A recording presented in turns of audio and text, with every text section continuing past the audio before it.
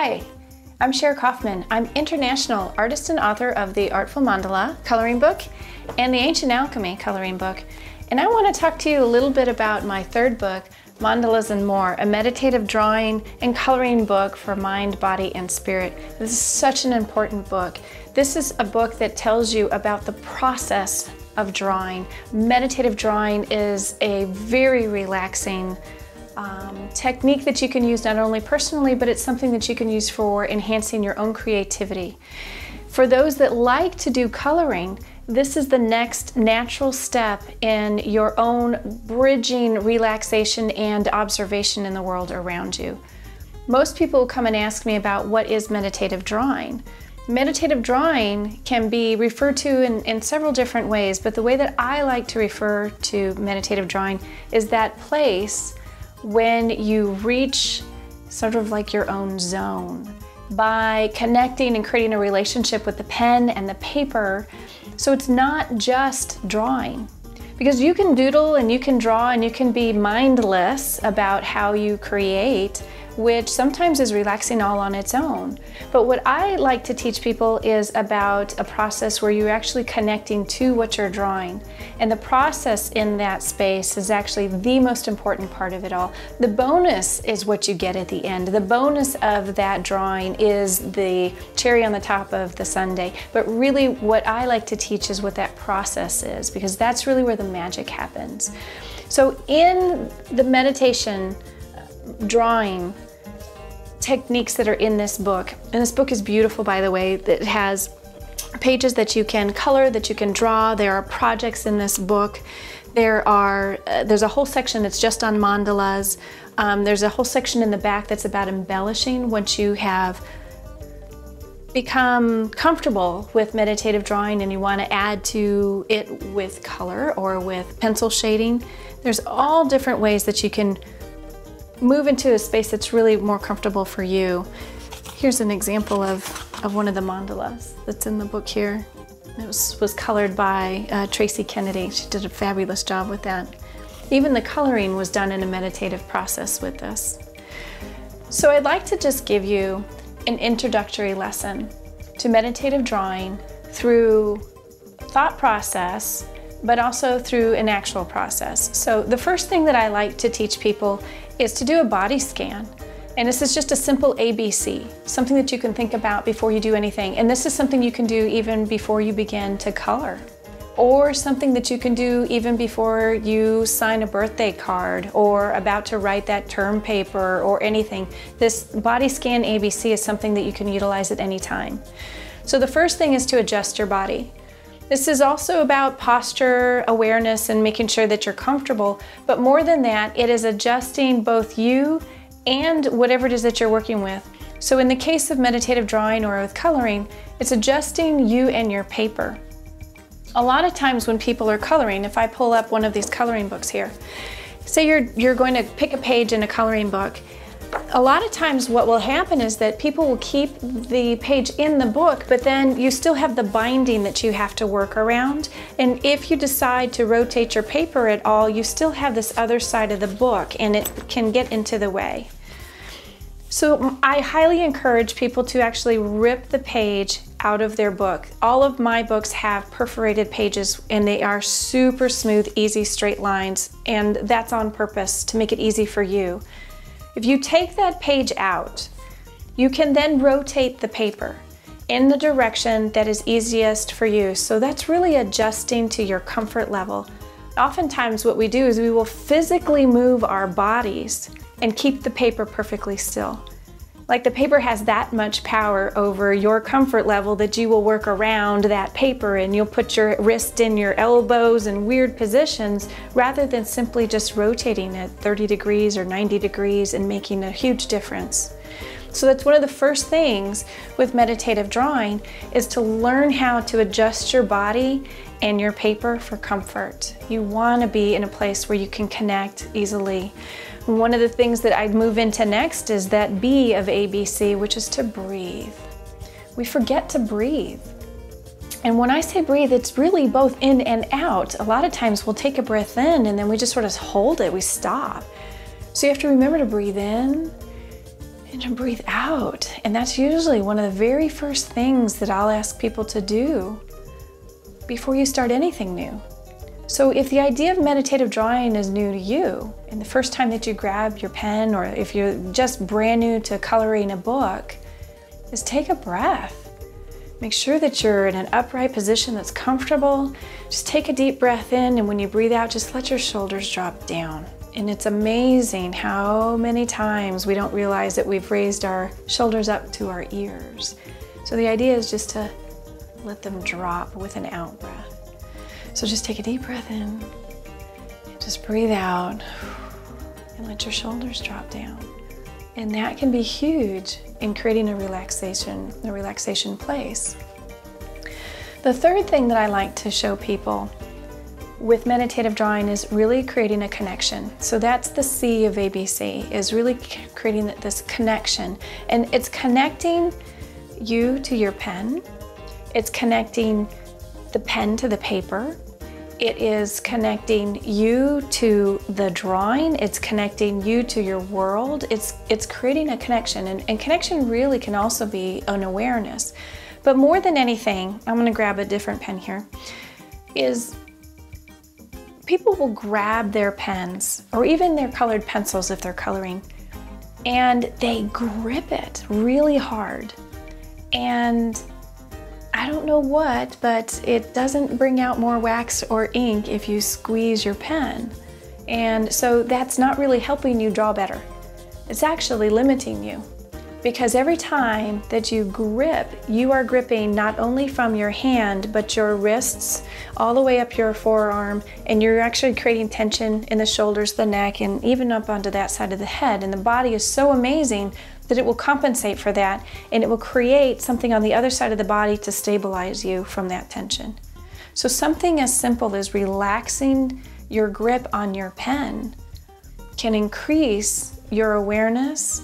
How you, how you breathe it can relax immediately from just having the awareness of, of how you connect with your pen and just relaxing. So ABC is to adjust yourself and your paper to a comfortable position, breathe, and create a connection with your pen to your paper.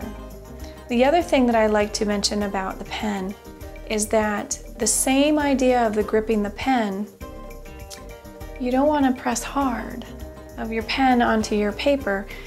Your paper is just simply a receiver of the ink or the colored pencil, whatever it is that you're using, your marker, whatever it is. It's just simply there to receive this media that you're applying to it. There are times when you have to press hard, or there are times when you need to create a, little heavier application of something. But in general, what I like to do with approaching meditative drawing is learning how to relax. And for a lot of people, it's learning how to pull back a little bit, how to how to allow just the tip of their pen and not the entire edge of their pen to go in contact with the paper, that it's really just allowing it to glide.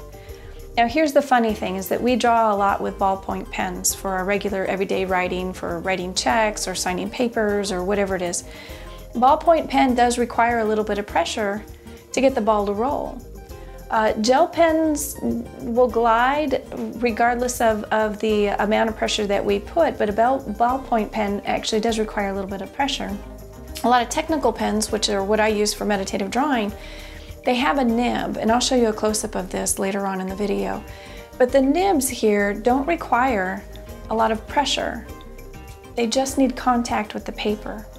So meditative drawing is, is really about letting yourself be present in the process.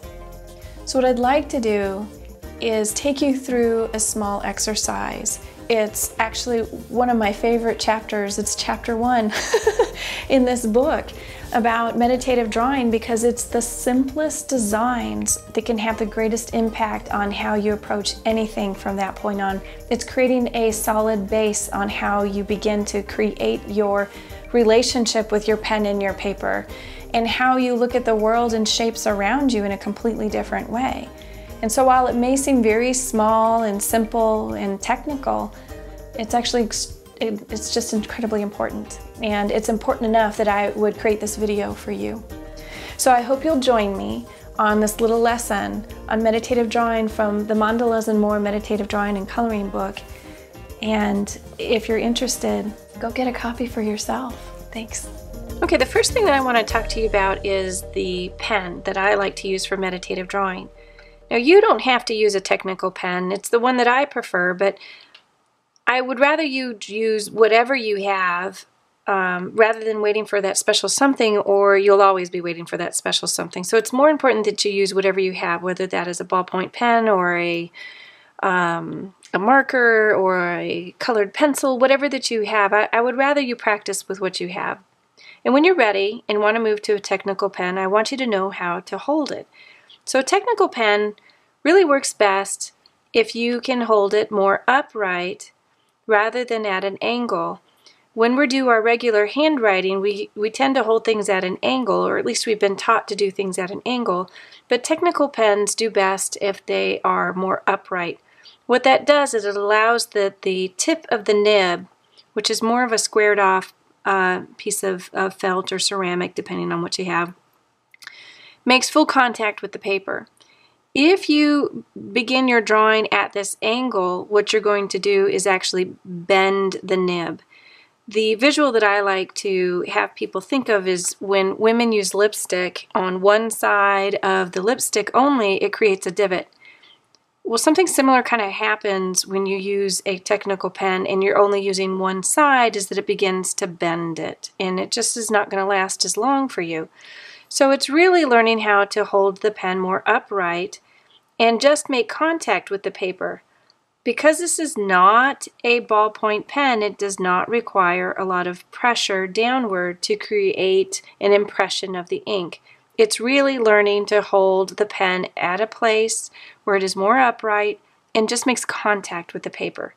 Now, I know this sounds very technical and it can be kind of boring, but it actually is very important because what happens is that your mind wants to speed things up and it wants to put them in a way that you have more of a muscle memory for, which is often at the angle. So learning how to do slowing down and holding the pen this way can actually be very important. So to begin for a meditative drawing lesson, one of the first things I teach is circles. And I know usually people have this idea of circle, well, I know how to draw a circle, and you probably do, but I don't know if you know how to draw a circle and be connected to your circle, to be mindful in how you draw. So remember our ABCs. You want to adjust your paper and your body in a way that's going to be comfortable for you. And you want to take a breath. Just take a breath, just in and out. And then you want to begin to connect your pen and your paper together in a way where you are drawing circles, and they don't have to be absolutely perfect, but the important part is right here. Where you started and where you end, they need to connect. Sometimes I've seen people where they do this and they overshoot, or I've seen people go where they're fast. This is what I would consider kind of an open circle. This is not actually a closed circle. This one is not being mindful of where the start position was. So this is not what I want you to practice. This is what I would like you to practice is wherever your start position is, that that is also your ending position. And even if you have a wobbly touch, say your muscles are a little weakened or if you have a little bit of a shake or anything like that, don't worry about that because that'll actually end up becoming your personal style.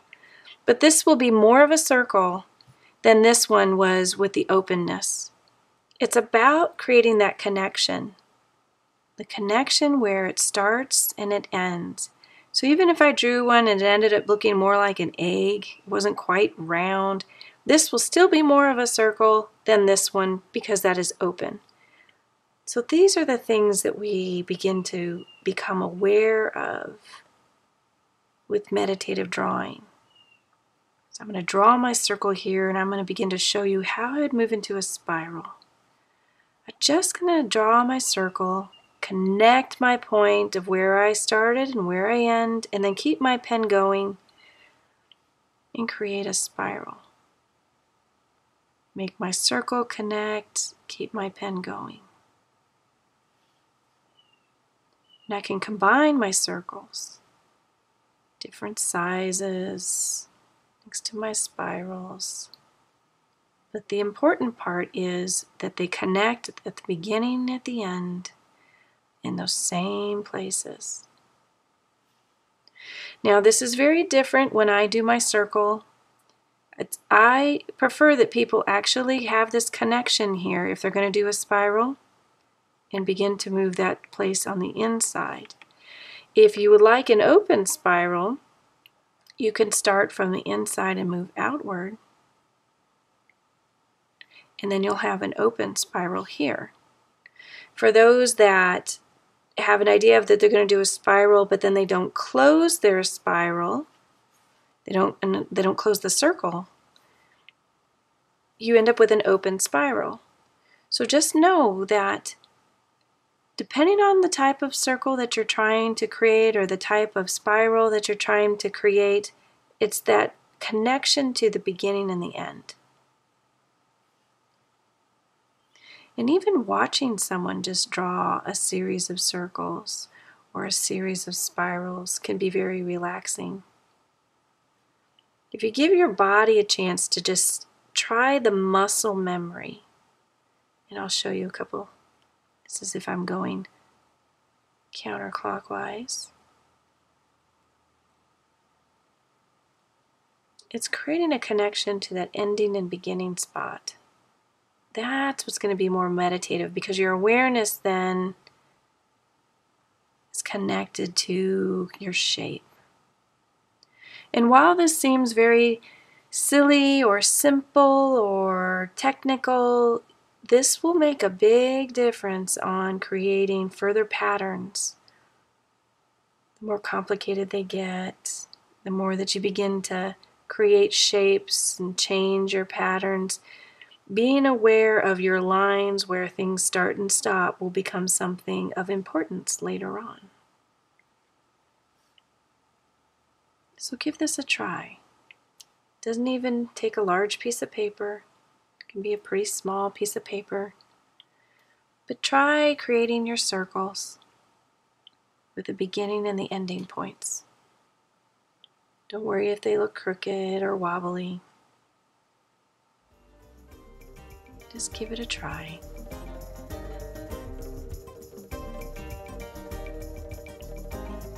There you go. So as you can see, the lessons are simple. They're easy to learn.